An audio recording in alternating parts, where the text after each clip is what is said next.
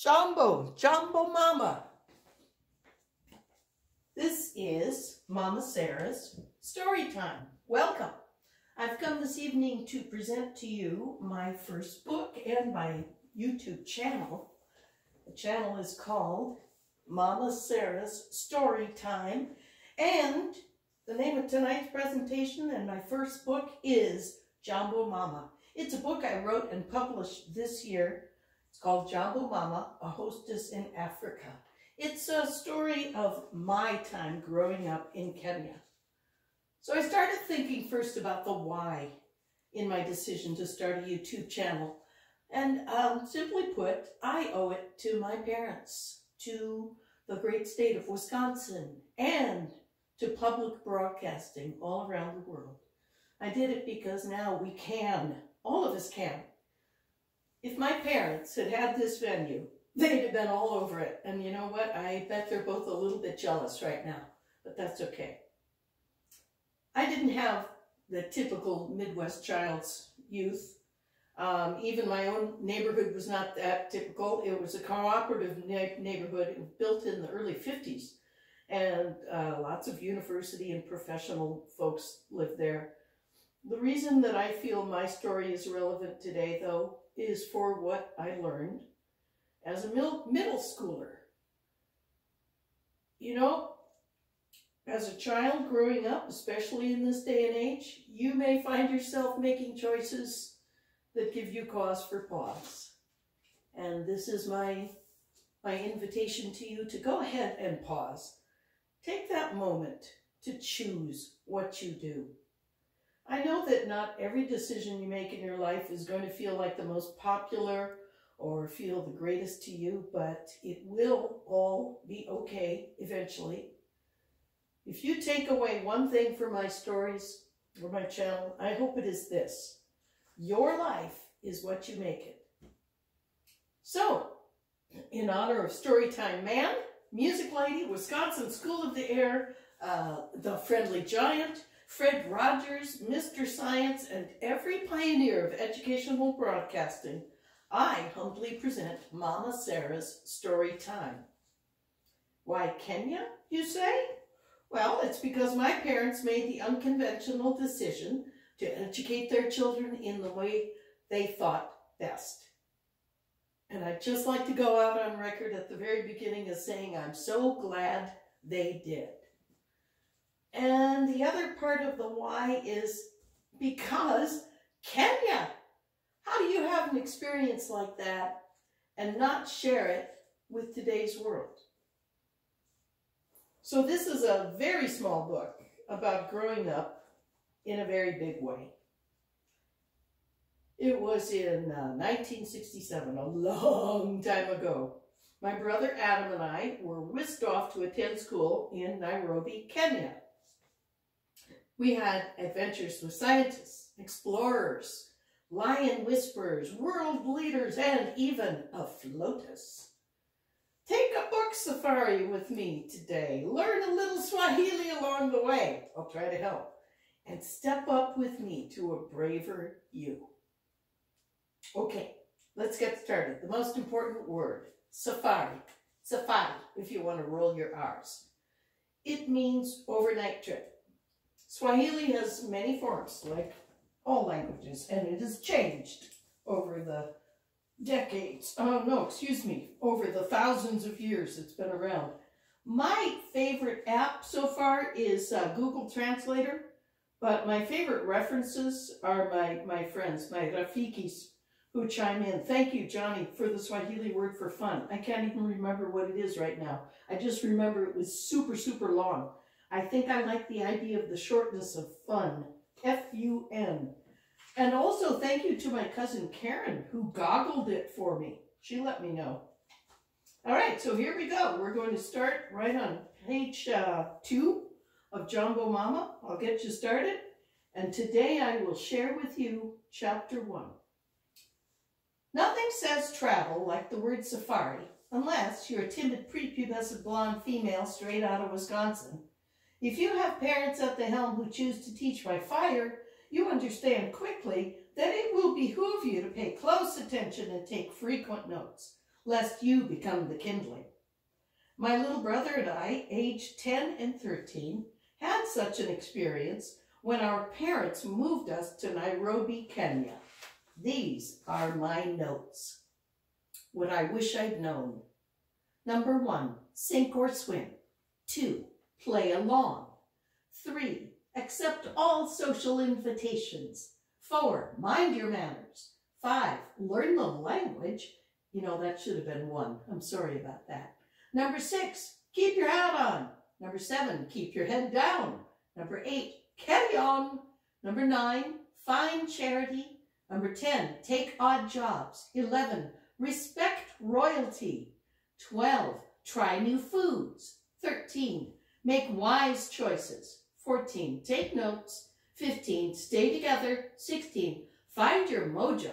Number 17, face your lions. 18, mind your own business. Number 19, carry a bottle. Number 20, maintain. 21, don't assume anything. Number 22, take the train. 23, don't be chicken. 24, write poetry. Number 25, wear sunscreen. 26, duck and cover. 27, pity the tourists. Number 28, love your mama. And number 29, start a band. Prepare to learn about yourself while on your safari. You'll come to appreciate your place in this world. You will learn that even the smallest footprint has a huge impact on the road.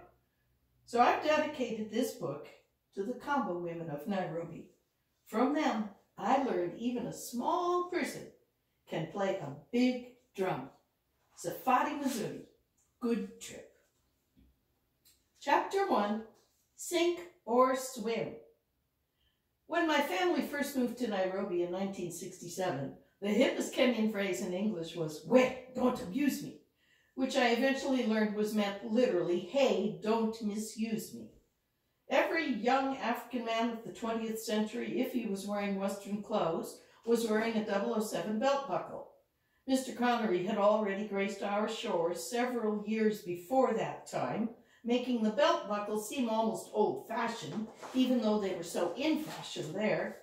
Only one color and design was available in the Nairobi market, black cheap leather, with a rectangular silver-colored buckle looking like an out-of-order torch with 007 stamped in the center. We spent three glorious months residing in the Grosvenor Hotel, a small one-story East African colonial hotel. We had two rooms, two loos, access to the swimming pool, free billiards, and an endless bar tab. There were no age limitations on anything then, not on beer or pombe, cigarettes, or drugs. My little brother Adam and I immediately started making mental bucket lists. Where to start? For me, it was chai, the tea my mom liked, and for Adam, kahawa, coffee, like his dad. The message I took from sharing that formerly verboten world with my parents was that it was much more fun to play along with everyone, the adults too, drink a shandy in spite of the fact it was a mix of lemonade and beer, puff on dad's cigar, and start each day with a chai. It was the beginning of my long, tortuous relationship with indulgence. I was 13. My brother was 10. We thought we were mature for our age. This was the era that Kenya first began wearing its Western shoes, adapting Musungu, white folks' ways and lifestyles. People that had worked the rails, so to speak, were now managing the train systems. African men did all of the hotel's restaurant jobs, with the exception of the management positions, which were filled by Indian men. Mr. Patel, the hotel's manager, wore a handsome suit and had an impressively deep bow. Many of the restaurant positions also had African associates shadowing them, more trainees. African women worked in the laundry room and kitchen, so we didn't often see them about the hotel, but we knew they were there. We could hear their voices all day long, children too. Huh, Adam and I thought, kids around all day long? How come? African boys ran messages and errands. It was during the school day's hours, yet there these boys were, working, and most of them shoeless. We thought that was pretty strange too, but within a few days, we'd given up our shoes as well to the distress of our parents. Why do we have to go to school? Adam confronted Mom. Those kids look all right to me. It took some doing to talk us down off the truancy wall, but they eventually did it by bribing us with promises of daily sweets at the school tuck shops. Ooh, cream puff Mondays, cooed my mother. Wait do you smell the cream puffs. She began sniffing in great greedy gulps of phantom aroma. They baked them in the morning and you could smell them from all around the school. Be first in line. They run out every week. That did it. That got me back in the eighth grade. Not all men wore shoes. When they did, it was usually the rubber tire sort. But every man at the hotel wore a waiter's or a busboy's white jacket, regardless of its condition. Pants or shorts of every color, sort, and state accompanied the ensembles. Fashion in Kenya could lean towards east-west on one person and west-east on the next, hemispherically speaking. Regardless, everyone from both sides of the prime meridian looked like they were making amateurish attempts at learning to wear hats for the first time. Had no one found their mojo? The difference there in Kenya was that everyone was very comfortable doing so. We Musungus dressed almost the same as the Kenyans, sans 007. People kept kowtowing to us. It made us all uncomfortable, so we responded with lower bows and bigger smiles, nodding our heads. We were living in a world that still breathed the last gasps of British colonial treatment of its subjects. We'd have to get used to it, not the other way around. We would spend the next four years of our lives learning to navigate life in a world that would appear on the outside to be familiar, but in truth be totally strange. It felt as though our parents had thrown us into the ocean and said, swim. But we did it. We swam. We played along. We bowed and we waved. Adam and I both saw a huge difference in the behaviors of Americans at home versus those living in Kenya. Adults were much more open about their personal lifestyle choices on the equator. They didn't rein in much anything as far as kids, not all the adults, just the many presumptuous ones. It felt like my zone of tolerance was expected to open up just because the bar cabinet had. Mom and Dad's dinner date calendar picked up big time. Suddenly, the jokes and stories Dad brought home from social events were sexier, more complex, more political, and also more philosophical, deeper. They required more thought and input from me. And I thought, mm, maybe I'm more grown up than I know, huh? Adam and I started calling our parents Mary and Mick. It made us feel more like Rafikis, friends. Kenyan American social life was a constant flow of new people filtering through the university and embassy communities. Relationships were formed and sometimes ended quickly.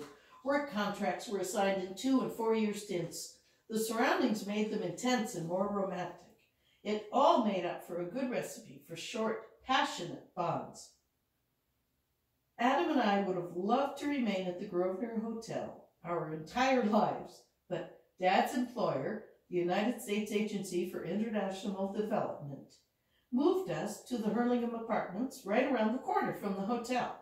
Our three-room apartment was on the second floor, directly above the so-called untouchables, who lived outside in shacks and boxes right under our windows. I don't exactly know when I learned that term, untouchables. I thought it sounded pretty unfair. What did that mean? After a few incredulous questions to our parents, we learned that the Hindu caste system had basically outcast a big chunk of their own people, declaring them too foul even to be touched for the color of their skin. I looked down at the pile of boxes, rethinking every social studies book I had ever seen, and I thought, wait, what? Even at the mere age of 13, I was ready to embrace the idea of equity in all things, but I hadn't realized until then that it was all pretty much bullshit. if we hadn't been able to qualify the basic human needs for all. And then, of course, because I was 13, I, I came to my senses and I turned it around to myself. I wonder where my skin would land me if my Scottish roots are as rigid with her clans and covered in freckles and sunburn. Okay, sorry about that. I know it sounds a little too Irish or British or something. It's supposed to be Scottish. I fretted to my parents. They rolled their eyes. Clear they had more explaining to do. Adam and I did not understand what we saw from the apartment window. Sitting there overlooking what we thought was a market, we first thought we'd scored a great flat with a view. Look, I pointed out to Adam, there's the Nairobi River. There was so much human and traffic congestion around it, we couldn't see it at first.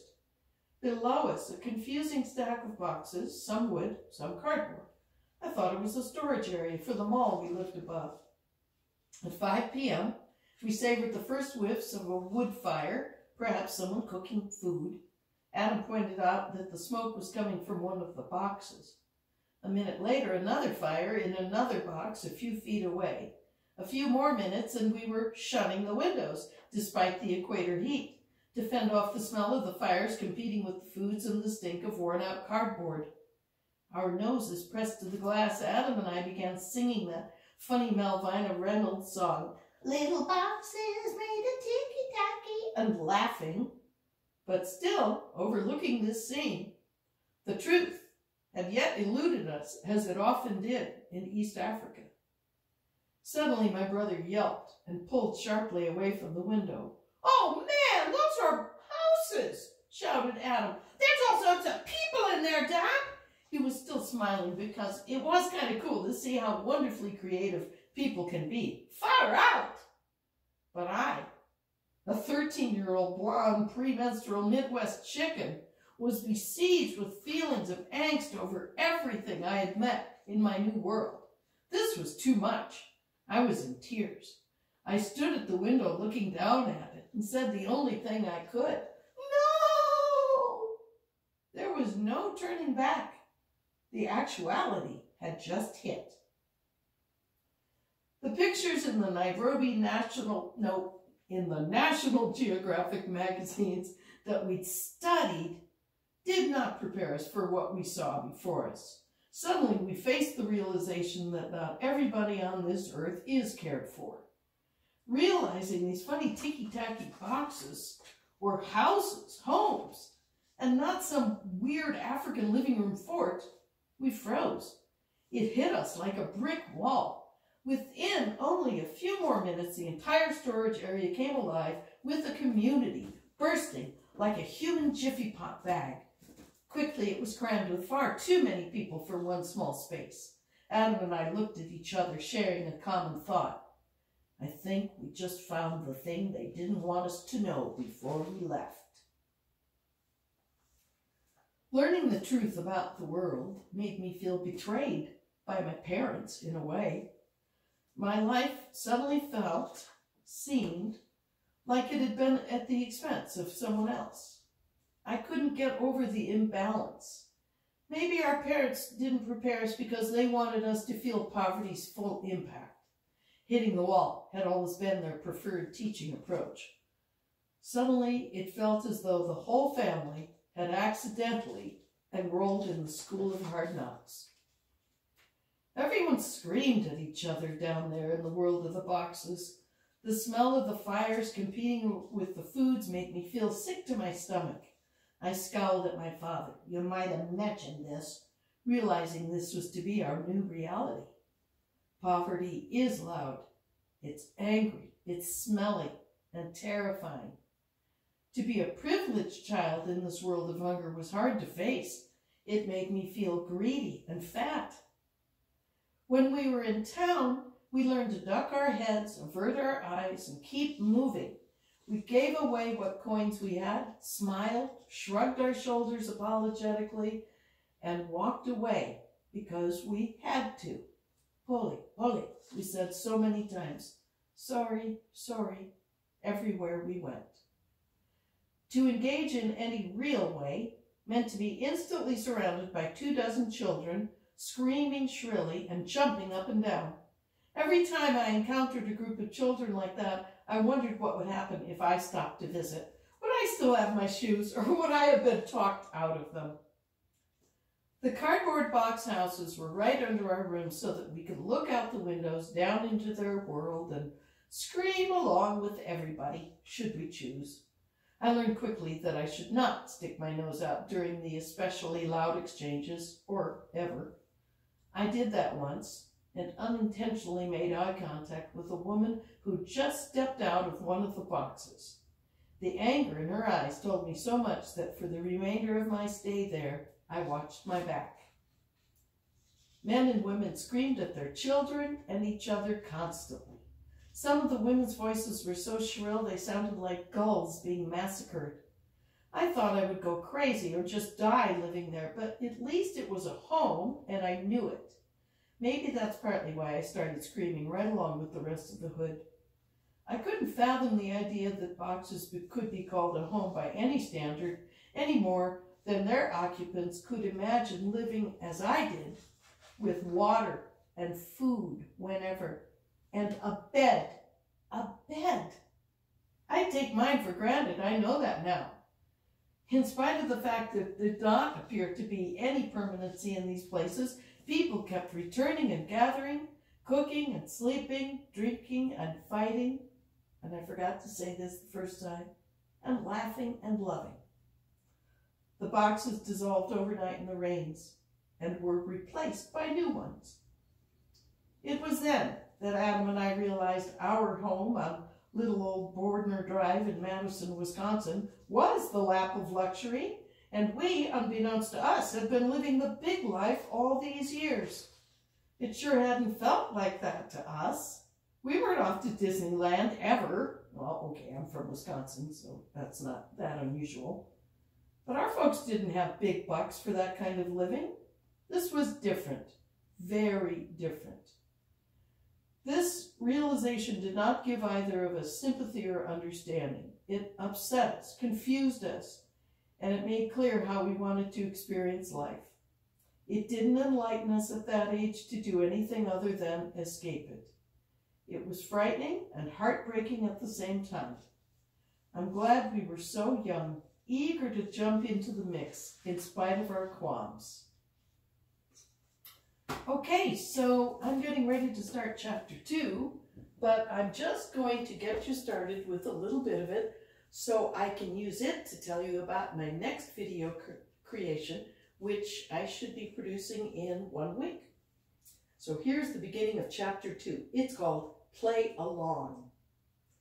Eventually, we moved into a big home after six months of hotel luxury and subsequent apartment residence. At night, Adam and I sat up at our windows, looking over our own backyards, observing the lives of Africans who seemed as if they were living with us, but in fact it was we living with them. Watching the lights from the fires below dancing over the faces of the servants, listening to their voices, we heard our first Kikuyu language. We imagined what they were saying. Oh, what a busy day I had, etc., etc. Sounds from the local radio station carried up to our bedroom windows on the second floor, casting a Kenyan top 40 wave over all three of our homes, unifying us in melody and rhythm. We swayed and danced along from inside our home, while Smart, Rosie, and Njoroge sang from below. The children were sent to bed before us, a point of great pride in our immature scope of what is important. I guess I understand why all children were considered to be secure being a home alone there, because we weren't ever really alone. Even if, even if our parents were not at home, the servants were there, babysitters by proximity, I guess. There, it was easier to leave the kids at home in the evening. The house help would have gone home to their little houses for the servants in the backyards. Adam and I were maturing quickly and old enough to be on our own, but Mary and Nick had forgotten to tell us about servants. They left this next business out of their Kenya sales pitch because they might not have known that all the homes for people of standing had servants' houses with them on the same grounds behind the main one. Cooking, housework, and gardening help was so affordably done by local Africans that to not utilize them would have been an inconsiderate waste of a home and a living for at least two African families. These houses were Spartan. Some had wood floors instead of dirt like the others. Families shared common cooking quarters in the evening after their employers dinnered, and the backyards came alive as housemen and gardeners returned to their homes, their families, their dinners. But we had experienced so much restructuring in our family, veritably losing our two older brothers to the move, that the prospect of sharing our parents with complete strangers was not thrilling to either of us. We got over it in time once we discovered how nice it is not to have to do your own laundry or your meals or your housekeeping or your gardening, to have it all done for you. Every American house also had an askari, a guard, patrolling the house at night. The American Embassy always said they assigned askaris to protect the Ethan Allen furniture they supplied our homes with, but we chose to believe they were there to watch over us. askaris arrived promptly at 6 p.m. and stayed the whole night until daylight at 6 a.m. And that makes this a great place to stop today and tell you about my next publication, which I plan to share with you next Sunday. Get ready to hear the tales of The Little Askari. It is written by me and it's illustrated by another former colleague, Mrs. Nam Jacobson. It is geared to a younger reader. So, before I go today, I need to give a shout out and a couple of reminders for you. Alrighty? I would like to say a big thank you to the other youngers in my life, specifically Kelly, Swag, and Andrea, for giving me solid advice and navigational wisdom throughout this project. And I am most grateful to my family for caring and showing it to me.